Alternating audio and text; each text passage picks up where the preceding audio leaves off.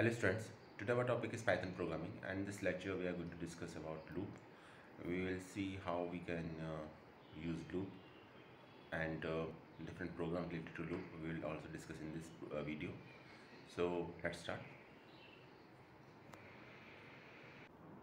तो स्टूडेंट्स जैसे मैंने बताया आपको कि लूप आज हम डिस्कस करेंगे लूप एक्चुअली हम ऑलरेडी पढ़ा चुके हैं आपको तो एक बार दोनों लूप फॉर लूप और वाइल्ड लूप को एक साथ हम एक ही वीडियो के अंदर कवर करने की कोशिश करेंगे और इसको आप समझ सकते हैं कि जितने भी कॉन्सेप्ट अभी तक हमने पढ़े हैं लूप के रिगार्डिंग क्योंकि बहुत इंपॉर्टेंट टॉपिक है, उसको हम कंप्लीट करने की कोशिश करेंगे इसमें। तो चाहे वो आपका फॉर लूप हो गया वाइल्ड लूप हो गया फॉर और वाइल्ड लूप एल्स के साथ किस तरीके से यूज़ किए जाते हैं ब्रेक और कंटिन्यू स्टेटमेंट किस तरीके से काम करते हैं लूप के साथ तो इसको हम पढ़ेंगे और समझेंगे। तो पहले फॉर लूप की बात करते हैं। देखिए लूप का क्या मतलब पहले ये समझ लीजिए।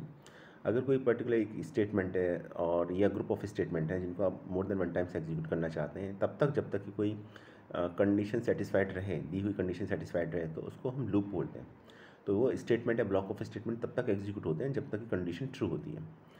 और लूप को लूप के लिए लूप को इम्प्लीमेंट करने के लिए थ्री बेसिक कंडीशन की रिक्वायरमेंट होती है, या थ्री बेसिक स्टेप्स होते हैं। हम ऐसे कहें तो ज़्यादा बेहतर है। एक है इनिशलाइजेशन जहाँ हम ये बताते हैं कि लूप की इनिशियल वैल्यू क्या होगी? जब लूप चलेगा तो इनिशियल वैल्यू क्या होगी? तो एक वेरिएबल लेते हैं, उस वेरिएबल को इनिशलाइज करते हैं। देखिए, इसको ऐसे समझिए कि आपको पॉइंट ए से पॉइंट बी के बीच में जाना है। तो पॉइंट ए तो हो जाएगा आपका स्टार्ट पॉइंट और पॉइंट बी हो जाएगा आपका एंड पॉइंट या वो कंडीशन जो ये बताया आपको कि यहाँ जाके आपको रुकना है, ठीक? और ए से बी के बीच में जाने के लिए आपको कितना जंप लेना है? कितनी स्टेप वैल्यू होगी? वन स्टेप वैल्यू होगी टू स्टेप वैल्यू होगी, कितनी स्टेप वैल्यू होगी? ताकि आप ए से बी पे पहुँचें। क्योंकि ए से बी पे जाने के लिए आप हर बार कुछ ना कुछ वैल्यू इंक्रीमेंट होगी ए में, तब जाके आप बी पे पहुँचोगे। तो सेम कॉन्सेप्ट रहता है लूप के अंदर। लूप के अंदर थ्री कंडीशंस रहती हैं। थ्री स्टेप्स होते हैं। पहला तो होता है इनिशियलाइजेशन जिसमें हम किसी, ये बताते हैं कि लूप का स्टार्टिंग पॉइंट क्या है। और फिर होता है चेकिंग कंडीशन जिसमें हम ये बताते हैं कि लूप कहाँ तक रन होगा या कब तक रन होगा। ठीक है? जब तक चेकिंग कंडीशन सेटिस्फाइड रहेगी ट्रू रहेगी तो वो लूप चलता रहेगा, जैसी फॉल्स होगी लूप के हम बाहर आ जाएँगे। और थर्ड होता है स्टेप वैल्यू इसमें इंक्रीमेंट या डिक्रीमेंट बोल सकते हैं जो आपकी स्टार्ट वैल्यू से हम फाइनल वैल्यू तक किस तरीके से पहुँचेंगे, या कितने का इंक्रीमेंट या डिक्रीमेंट होगा, ये स्टेप वैल्यू कहलाता है। तो अगर हम फॉर लूप की बात करें तो जनरली को जैसे कोई सीक्वेंस होता है सीक्वेंस का मतलब लिस्ट है टपल है डिक्शनरी है सेट है, या स्ट्रिंग है कोई तो इसके आइटम्स को वन बाई वन करके अगर हम एक्सेस करना चाहते हैं या उसको कोई ऑपरेशन परफॉर्म करना चाहते हैं तो हम लूप के थ्रू कर सकते हैं, ठीक है? तो पहले सीक्वेंस जितनी भी दे रखे हैं लिस्ट टपल डिक्शनरी या स्ट्रिंग इनको इनको, उनको हम देखेंगे, इन पर वर्क करने की कोशिश करेंगे, समझेंगे इसको और फिर नंबर्स पर भी देखेंगे हम लूप किस तरीके से इम्प्लीमेंट होता है। तो ये देखिए। मान लीजिए एक लिस्ट है। लिस्ट है, लिस्ट की पहचान क्या है? लिस्ट की पहचान ये है कि लिस्ट में पहले तो आप एक लिस्ट को स्क्वायर ब्रैकेट के अंदर रिप्रेजेंट करते हैं। स्क्वायर ब्रैकेट में इसके डिफरेंट एलिमेंट्स होते हैं। लिस्ट, अभी टॉपिक आपको बाद में आएगा, डिटेल में पढ़ेंगे। लिस्ट एक डेटा टाइप है, ठीक है? वहाँ हम डिटेल में समझेंगे इसको। लेकिन यहाँ पर लूप के पॉइंट ऑफ़ व्यू से जितना हमें समझना है, उतना तो हमें करना ही पड़ेगा। तो एक लिस्ट एक डेटा टाइप है, एक सीक्वेंस इसमें नंबर ऑफ़ एलिमेंट्स होते हैं अरेंज होते हैं। तो यहाँ पर नंबर ऑफ़ एलिमेंट्स हैं। नंबर्स वो एलिमेंट आपके नंबर हो सकते हैं इंटीजर वैल्यू हो सकती है फ्लोट वैल्यू हो सकती है। हो सकता है कोई स्टिंग हो। जैसे यहाँ पर दे रखा है एप्पल फ्रूट्स के नेम दे रखे हैं एप्पल बनाना और चेरी ये थ्री स्टिंग्स हैं और ये लिस्ट का पार्ट है। अब मैं ये चाहता हूँ कि मैं इसमें एक एक करके एलिमेंट को एक्सेस करना चाहता हूँ। तो इसका जो सिंटेक्स है, वो लिखा जाएगा फॉर एक्स इन फ्रूट्स ठीक है? तो अब इसमें आप कहेंगे, सर इनिशियलाइजेशन कहाँ हुआ? इंक्रीमेंट कहाँ हुआ? और चेकिंग कंडीशन क्या हुई? ये तो लिखा ही नहीं इसमें देखिए, जब हम किसी सीक्वेंस के अंदर एलिमेंट को एलिमेंट के लिए लूप चलाते हैं तो उस सीक्वेंस का, जो इसके इसमें लिस्ट है, उसका फ़र्स्ट एलिमेंट स्टार्टिंग पोजिशन हो जाती है। और चेकिंग कंडीशन हो जाती है तब तक, जब तक कि सभी एलिमेंट एक्सेस नहीं हो जाती। नहीं लास्ट एलिमेंट तक हमें जाना है। ये क्लियर हो गया यहाँ पर।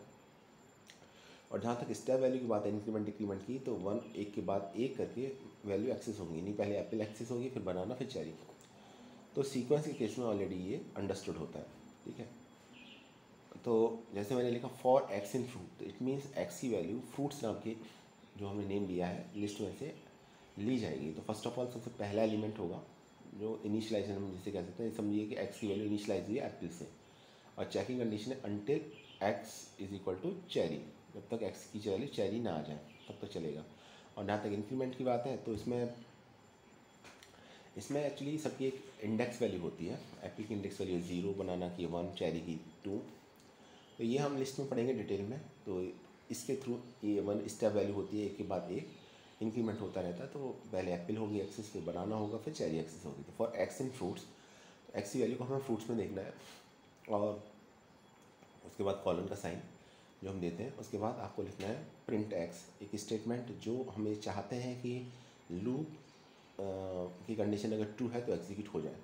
तो मैंने प्रिंट एक्स दे दी। यहाँ पर ये बात नोटिस करने वाली है कि आपने जो प्रिंट एक्स स्टेटमेंट दिया है, वो कुछ इंडेंटेशन का कॉन्सेप्ट यूज़ किया। आपने स्पेस देने के बाद लिखा है उसको तो इट सिंपली मीन्स दैट कि जब तक ये कंडीशन ट्रू होगी एक्स की वैल्यू प्रिंट होगी, जब तक लूप चलेगा तो एक्स लूप की वैल्यू ट्रू फाइंड आउट होगी, तब तक एक्स की वैल्यू प्रिंट होगी। जैसे ही फॉल्स होगी तो प्रिंट होना बंद हो जाएगी।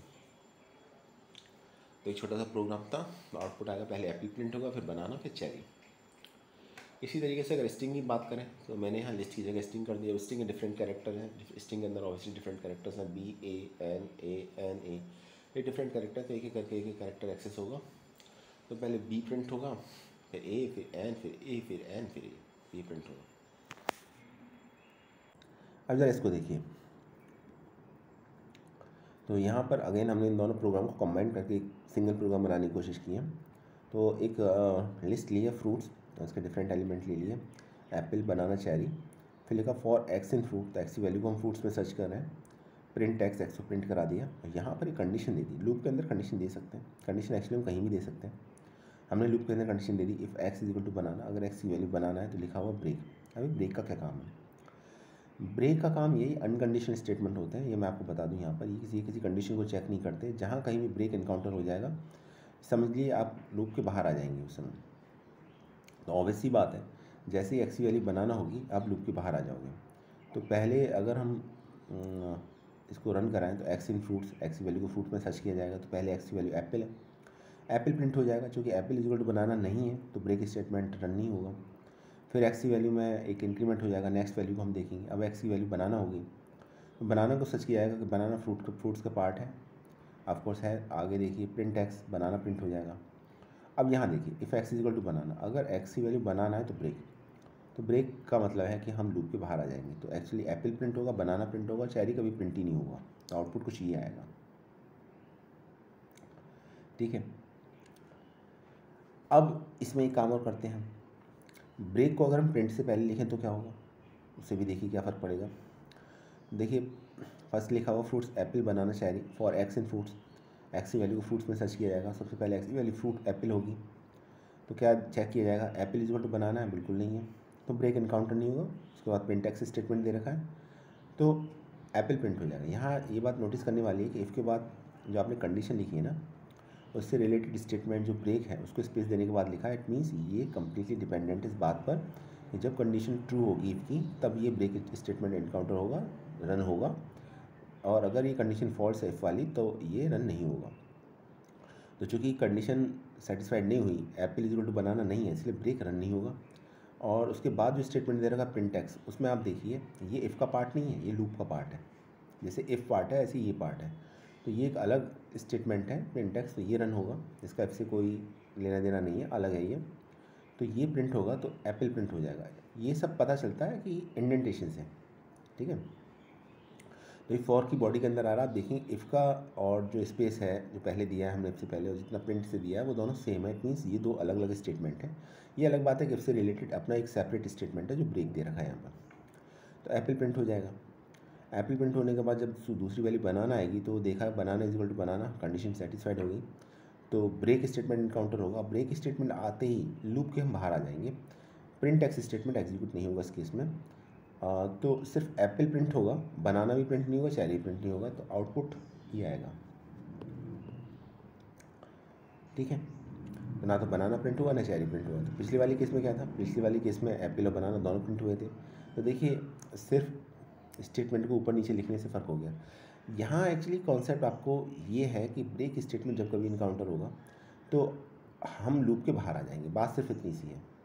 अब आप उसको किसी तरीके से भी लिखें, उससे कोई खास फ़र्क नहीं पड़ता। दिमाग में अगर आपकी बात रहेगी कि ब्रेक आने के बाद लूप से हमें बाहर आ जाना है तो उसमें समझने में कोई प्रॉब्लम नहीं रहेगी।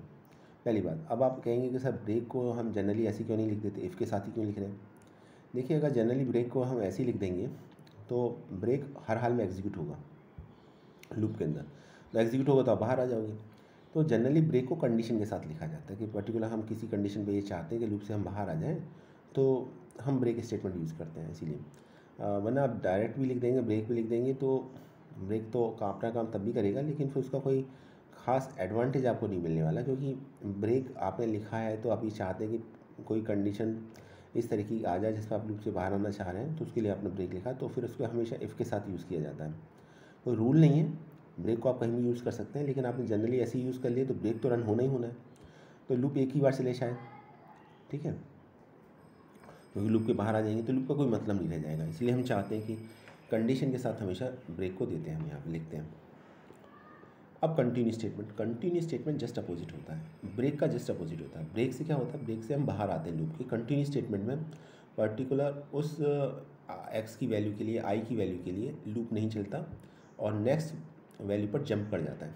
यानी वापस हम लूप की नेक्स्ट वैल्यू पर पहुँच जाते हैं। जैसे इस केस में देखिए। अब बस सिर्फ़ मैंने इतना किया है कि ब्रेक की जगह कंटिन्यू किया। तो कंटिन्यू से क्या होगा? और ब्रेक से क्या होता था? ब्रेक से तो हम लूप के बाहर आ रहे थे। कंटिन्यू से पर्टिकुलर उस वैल्यू के लिए एक्स की लूप नहीं चलेगा और एक्स की नेक्स्ट वैल्यू के लिए फिर लूप चलना स्टार्ट हो जाएगा। जैसे यहाँ पर मैंने लिखा है fruits equal to apple banana cherry ठीक है? For x in fruits if x equal to banana then continue तो देखिए, पहले एक लिस्ट ली लिस्ट के एलिमेंट्स है एप्पल बनाना चेरी अब हमने लूप चलाया for x in fruit x की वैल्यू को फ्रूट्स में सर्च करेगा तो पहले एक्स की वैल्यू एप्पल होगी। Apple is equal to banana नहीं है, ठीक है? नहीं है तो प्रिंट एक्स हो जाएगा एक्स वैल्यू प्रिंट हो जाएगी इट मीन्स एप्पल प्रिंट हो जाएगी। अब क्या होगा? अब एक्स की वैल्यू में इंक्रीमेंट होने के बाद एक्स की वैल्यू हो जाएगी बनाना तो फिर सर्च होगा if banana equal to banana अब ये कंडीशन ट्रू हो जाएगी तो बनाना इजल टू बनाना हो जाएगी तो फिर कंटिन्यू स्टेटमेंट होगा।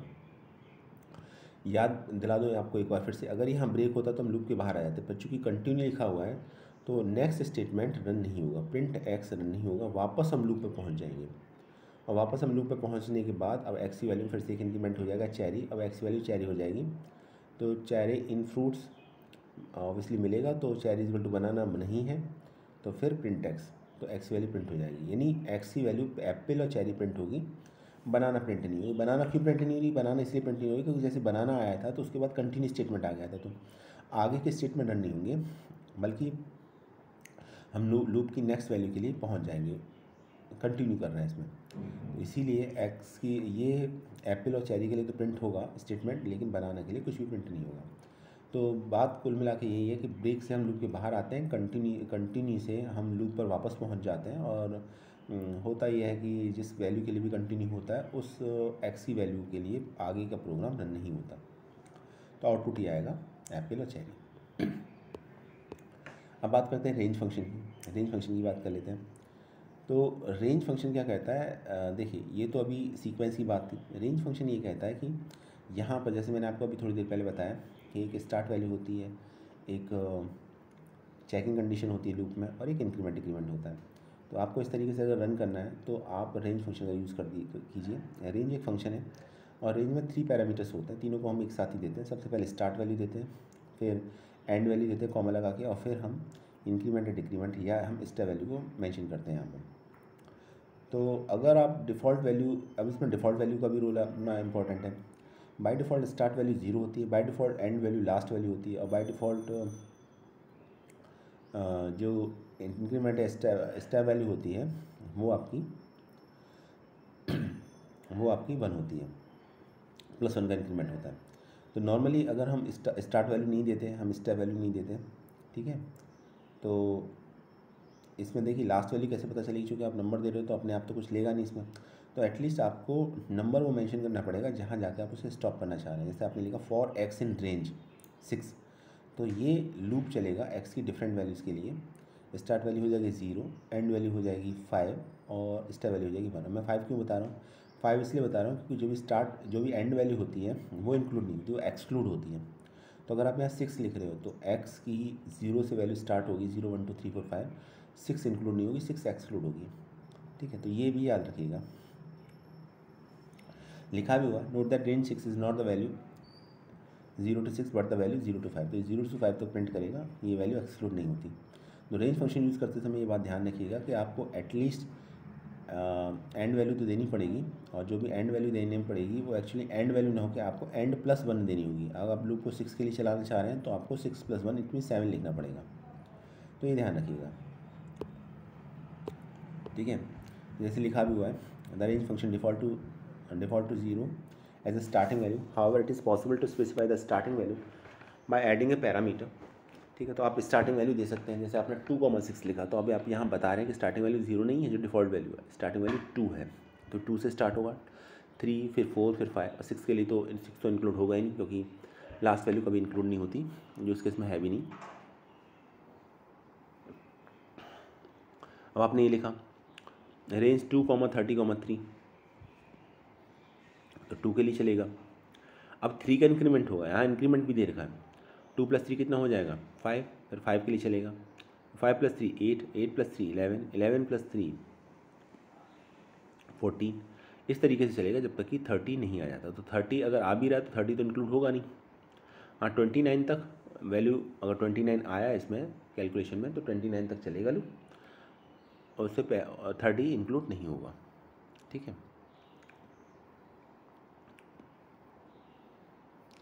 तो ये ध्यान रखिएगा। तो ये था हमारा स्टूडेंट फॉर लुक अब बात करते हैं हम वाइल्ड लूप के बारे में। तो फॉर लूप देखा तो वाइल्ड लूप को भी देखते हैं। देखिए लूप की जहाँ तक बात है तो सबसे पहले लूप में एंटर करेंगे इनिशलाइजेशन करना पड़ेगा आपको। उसके बाद टेक्स्ट एक्सप्रेशन चेक हो रिज़ल्ट दो ही हो सकते हैं पॉसिबिलिटी दो ही या तो ट्रू या फॉल्स ट्रू है तो जो भी हम बॉडी ऑफ़ द वाइल के अंदर एंटर करेंगे, जो भी स्टेटमेंट होंगे, वो एग्जीक्यूट होंगे। और एग्जीक्यूट होने के बाद कंडीशन इंक्रीमेंट होने के बाद फिर से चेक होगा। टेक्स्ट एक्सप्रेशन के कंडीशन ट्रू है फॉल्स है। फिर से ट्रू पाई जाती है तो फिर से बॉडी ऑफ़ द वाइल के अंदर एंटर करेंगे। और जो तब तक एग्जीक्यूट होता रहेगा बॉडी ऑफ़ द वाइल के अंदर जो हमने स्टेटमेंट है, वो तब तक एग्जीक्यूट होते रहेंगे, जब तक कि टैक्स एक्सप्रेशन ट्रू पाया जाता है। और जैसे ही फॉल्स आता है, हम लूप के बाहर आ जाते हैं। इसलिए लिखा है फॉल्स पर एग्जिट लूप क्लियरली मैंशन है यहाँ पर। ये देखिए फॉर लूप में क्या था, हम रेंज फ़ंक्शन का यूज़ कर रहे थे तो उसमें अंदर इनिशियलाइजेशन चेकिंग कंडीशन या स्टॉप वैल्यू और स्टेप वैल्यू हम एक साथ दे देते थे। लेकिन वाइल्ड लूप में क्या है कि हम इन तीनों को अलग अलग देते हैं। सबसे पहले इनिशलाइज करते हैं तो वाइल लिखने से पहले इनिशलाइज कर देते हैं। जैसे मुझे स्टार्ट करना है आई इजल टू वन से। आई लूप का एक वेरिएबल है तो मैंने बता दिया I equal to one I equal to one से हम स्टार्ट कर रहे हैं। फिर लिखेंगे वाइल जैसे इसमें लिखा गया वाइल और फिर लिखा हुआ I is less than sixty checking condition ये ये, या हम यहाँ पर ये वैल्यू बता रहे हैं कि जब तक लूप चलेगा लूप कब तक चलेगा? लूप चलेगा तब तक जब तक कि आई की वैल्यू सिक्स से लेस देन रहती है। जैसे ही सिक्स हो जाएगी तो हम लूप के बाहर आ जाएँगे। ठीक है? इसके बाद कॉलन का साइन लगाते हैं। फॉर लूप में भी कॉलन का साइन लगा रहे थे यहाँ भी ये सिंटेक्स इसका। और इसके बाद इससे रिलेटेड जितने स्टेटमेंट हैं, उसे सेम इंडेंटेशन के साथ हमें को यूज़ करना है, जिसे हम ब्लॉक ऑफ़ स्टेटमेंट लिखेंगे। तो जैसे इस केस में आप देख रहे हैं, मैं आई की वैल्यू को प्रिंट करा रहा हूँ और एक स्टेटमेंट मैंने और दिया है, इसमें I equal to I plus one तो इसको हम कह सकते हैं कि ये स्टेप वैल्यू है, जो ये बता रही है कि इंक्रीमेंट किस तरीके से हो रहा है। इंक्रीमेंट हमेशा, याद रखिएगा वाइल्ड की बॉडी के अंदर, जितने भी स्टेटमेंट है, उनके साथ लिखा जाता है। ठीक है, जैसे एक तो प्रिंट आई था। तो ये तो स्टेटमेंट है जो मैं चाह रहा हूँ कि लूप के कंडीशन ट्रू होने पर एग्जीक्यूट हो। लेकिन जब मैंने लिखा I is equal to I plus one तो इसका मतलब ये है कि यहाँ मैं इंक्रीमेंट कर रहा हूँ। तो इन शॉर्ट में ये कह सकते हैं, हम ये कह सकते हैं कि देखिए इनिशियलाइजेशन तो होता है लूप से पहले। चेकिंग कंडीशन दी जाती है लूप वाइल के साथ और इंक्रीमेंट होता है वाइल के अंदर। ठीक है? क्योंकि तो तीन कंडीशन तो आपको मेंशन करनी है। फॉर की तरह नहीं है, जहाँ आपने रेंज में तीनों काम एक साथ कर दिए। ठीक है? तो अच्छा इसमें एक चीज़ और आपको पता होनी चाहिए, अगर एग्ज़ाम में क्वेश्चन आ जाए वाइल्ड लूप से लिखा हुआ, और आपसे कहा जाएगा उसको फॉर लूप में कन्वर्ट करो तो वो भी आपको पता होना चाहिए कि वाइल्ड से फॉर में किस तरह से कन्वर्ट किया जाता है। तो यहाँ क्या होगा? पहले वन प्रिंट होगा, ठीक है? क्योंकि पहले वन चेक होगा। One is less than six answer है यस बिल्कुल one is less than six है तो वन प्रिंट हो जाएगा। इंक्रीमेंट होगा वन में वन प्लस वन टू हो जाएगा। तो two is less than six check होगा कंडीशन फिर से टू है तो टू प्रिंट हो जाएगा। फिर आपका टू प्लस वन हो जाएगा थ्री थ्री चेक होगा थ्री लेस देन सिक्स तो थ्री भी ट्रू है थ्री प्रिंट हो जाएगा। फिर थ्री प्लस वन फोर हो जाएगा तो फोर चेक होगा फोर लेस देन सिक्स ये भी ठीक है तो फोर प्रिंट हो जाएगा। फिर आपका फोर प्लस वन फाइव हो जाएगा तो फाइव चेक होगा फाइव लेस देन सिक्स ये भी ठीक है तो फाइव प्रिंट हो जाएगा। फिर आपका फाइव में इंक्रीमेंट हो जाएगा सिक्स हो जाएगा तो सिक्स लेस देन सिक्स नहीं है तो फिर ये प्रिंट नहीं होगा, हम लूप के बाहर आ जाएँगे। तो आंसर जो आएगा, वो आपका आएगा one two three four five ये आपका आंसर आएगा। जहाँ तक ब्रेक और कंटिन्यू स्टेटमेंट की बात है ना तो ब्रेक और कंटिन्यू स्टेटमेंट वैसे ही काम करते हैं जैसे फॉर के साथ काम करते हैं। तो वाइल का जो थोड़ा सिंटेक्स है वो अलग है, लेकिन ब्रेक और कंटिन्यू वाइल के साथ अगर हम वाइल के अंदर यूज़ कर रहे हैं तो ब्रेक का काम वही है लूप के बाहर ले आना। कंटिन्यू का काम है कि नेक्स्ट लूप की वैल्यू के लिए प्रोग्राम को एग्जीक्यूट करना। यहाँ एक छोटा सा प्रोग्राम दे रखा है sum of N natural numbers तो यहाँ पर sum of N natural number के लिए प्रोग्राम लिखा गया है। सबसे पहले हम एक यूज़र इनपुट लेंगे। जैसे मान लीजिए हमने एन इजल टू टेन ले लिया। और सम इजल टू ज़ीरो लेंगे, क्योंकि सम एक वेरिएबल जिसमें हमें अपना फाइनल आंसर स्टोर करना है। एक वेरिएबल ले लिया आई इजल टू वन ये लूप वेरिएबल है, इसकी वैल्यू को इनिशलाइज कर दिया, हम जहाँ से लूप चलाना चाह रहे हैं। फिर लिखा आपने वाइल के साथ I is less equal to N तो कंडीशन हो गई, जब तक लूप चलेगा। और इसके अंदर हमने स्टेटमेंट लिखी स्टेटमेंट देखिए sum is equal to sum plus I तो हमेशा सम की वैल्यू में इंक्रीमेंट होगा। ऐड होगा ऐड होगी वैल्यू और ऐड की क्या होगी? आई की वैल्यू होगी। तो जितनी बार आई की वैल्यू चेंज होगी, उतनी बार सम की वैल्यू भी चेंज होगी और हर बार आई की वैल्यू ऐड हो जाएगी सम में। क्योंकि अभी फ़िलहाल स्टार्टिंग में सम की वैल्यू ज़ीरो है तो पहले लूप अगर वन के लिए चल रहा है तो ज़ीरो प्लस वन सम की वैल्यू हो जाएगी। ठीक है, अब सम की वैल्यू वन होगी नेक्स्ट टाइम जब आई की वैल्यू टू हो जाएगी तो one plus two equal two three हो जाएगा। इट मीन्स सम में हमारा नेचुरल नंबर्स सम ऐड होते चले आएँगे। One plus two plus three plus four plus five plus six plus seven plus eight plus nine plus ten अगर हम एन इजिकल टू टेन के लिए लूप चला रहे हैं तो। क्योंकि ऊपर कंडीशन देखिए I is less than equal to N दे रखा है, ठीक है? और जैसा हम इंक्रीमेंट करते हैं तो इंक्रीमेंट तो हमें लूप के अंदर ही करना पड़ता है तो हमने यहाँ किया भी I is to I plus one तो हमेशा आई की वैल्यू में इंक्रीमेंट हो जाएगा। अब जहाँ तक इस फाइनल आंसर को प्रिंट करने की बात है तो फाइनल आंसर जो हम प्रिंट करेंगे ना वो हम लूप की बॉडी के बाहर प्रिंट करेंगे। जैसे आपने लिखा, print the sum is sum. तो होगा क्या कि ऐसा करने से जो फाइनल आंसर, जो जिस लूप की, लूप के अंदर जो सम वेरिएबल की लास्ट वैल्यू थी, वो वैल्यू प्रिंट होगी। याद रखिए, यहाँ पर मैंने ये प्रिंट स्टेटमेंट लूप के अंदर नहीं दिया, लूप के बाहर दिया। है लूप के अंदर देते तो ये जितनी बार आई की वैल्यू के लिए चलता, उतनी बार ये सम स्टेटमेंट भी चलता। लेकिन हम तो फाइनल सम चाह रहे हैं। तो अगर आप ऐसा चाह रहे हैं तो लूप की बॉडी के बाहर दीजिए। तो लास्ट में जो भी सम की वैल्यू होगी, वो आंसर हो जाएगी। तो लास्ट में सम की वैल्यू है फिफ्टी फाइव तो वन से लेकर टेन तक का सम फिफ्टी फाइव होता है तो आंसर कुछ ही आएगा enter N equal to ten the sum is fifty five इसके साथ एक और है एल्स एल्स को फोर के साथ भी यूज़ करते हैं और वाइल के साथ भी यूज़ करते हैं। एल्स का क्या काम है? एल्स का काम ये है कि देखिए, जब तक लूप चल रहा है, तब तक तो आप चला ही रहे हैं उसको, जब तक कंडीशन के लिए रन हो ही रहा है। लेकिन आप ये चाहते हैं कि जैसी कंडीशन फेल हो लूप की तो भी कुछ ना कुछ एग्जीक्यूट हो तो उसके साथ एल्स यूज़ कीजिए। तो एल्स का काम वही है जो आपका एफ़ के साथ था। एल्स यूज़ करेंगे जैसे मैंने यहाँ यूज़ कर दिया एल्स तो जब कंडीशन फेल हो जाएगी तो लूप के बाहर आने के बाद हम एल्स वाला पार्ट एग्जीक्यूट होगा। एल्स को हम फॉर के साथ भी यूज़ कर सकते हैं एल्स को हम वाइल के साथ भी यूज़ करते हैं। एफ़ के साथ तो हम करते ही हमको पता ही हमने किया भी है इसको। ठीक है? एल्स के साथ कोई कंडीशन नहीं देते। एल्स का मतलब ये है कि जब कभी भी लूप की कंडीशन फेल होगी तो एल्स वाला पार्ट अपना एग्जीक्यूट होगा। जैसे इस प्रोग्राम के अंदर हम देखें लूप तीन बार चलेगा। काउंटर इजिकल टू ज़ीरो के लिए वन के लिए टू के लिए, और ज़ीरो वन टू के लिए थ्री के लिए तो नहीं चलेगा। तो अंदर स्टेटमेंट दे रखा है इनसाइड लूप तो इनसाइड लूप तीन बार प्रिंट होगा। प्रिंट हो भी रहा है, देखिए। और जैसे ही लूप की वैल्यू थ्री काउंटर की वैल्यू थ्री हो जाएगी तो हम लूप के बाहर आ जाएँगे। लूप के बाहर आने पर लूप से रिलेटेड स्टेटमेंट एल्स वाला दे रखा है, जो लूप के फेल होने पर स्टेटमेंट को एग्जीक्यूट कर रहा है। और यहाँ पे लिखा हुआ है इनसाइड एल्स ठीक है? लूप के एक्चुअली बाहर नहीं आएँगे एल्स वाला पार्ट एग्जीक्यूट होगा। तो इनसाइड एल्स एग्जीक्यूट हो रहा है आपका। जहाँ तक ब्रेक और कंटिन्यू स्टेटमेंट की बात है, जैसे मैंने बताया ब्रेक और कंटिन्यू स्टेटमेंट वैसे ही काम करते हैं, जैसे कि इसके साथ काम करते थे। आपने जैसे वाइल के साथ लिखा आपने यहाँ वाइल की बॉडी में ब्रेक लिख दिया तो हम लूप के बाहर आ जाएँगे। और आपने अगर कंटिन्यू लिख दिया, यहाँ पर कंटिन्यू लिख दिया तो लूप की नेक्स्ट वैल्यू के लिए प्रोग्राम एग्जीक्यूट होगा। तो ये बिल्कुल वैसे ही काम करते हैं, जैसे कि फॉर के साथ काम करते हैं। तो इसमें ब्रेक और कंटिन्यू में कोई डिफरेंस नहीं है। तो स्टूडेंट ये था हमारा आज का वीडियो हमने इसमें एक बार रिवाइज़ कर लिया सभी कॉन्सेप्ट अब नेक्स्ट वीडियो में हम इसकी कुछ प्रैक्टिस कराएँगे, कुछ प्रोग्राम रन कराएँगे, जो लूप से रिलेटेड होंगे। ठीक है, उसके बाद हम नेक्स्ट टॉपिक हमारा लिस्ट होगा। तो अभी आने वाले दो से तीन दिन तक हम प्रैक्टिस कराएँगे लूप के डिफरेंट प्रोग्राम्स की, ताकि आपको लूप का कॉन्सेप्ट और ज़्यादा क्लियर हो जाए। कुछ आउटपुट बेस्ड क्वेश्चन भी कराएँगे। तो आज के लिए इतना ही। Thanks watching this video